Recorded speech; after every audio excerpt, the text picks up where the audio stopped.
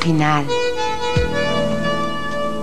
¿Usted sabe que en 1988 solo en Capital Federal hubo más de 28.000 casamientos?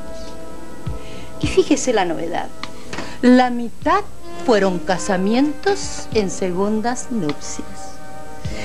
Quiere decir que el matrimonio sigue siendo el pozo donde todos queremos caer. Y bueno, piense señora, piense señor. En este momento los dos están en el pozo. Los chicos duermen. La noche está fresquita. Y... ah, ¿No les dio ganas? Mm, es el amor. Hay algo más lindo. Qué envidia les tengo.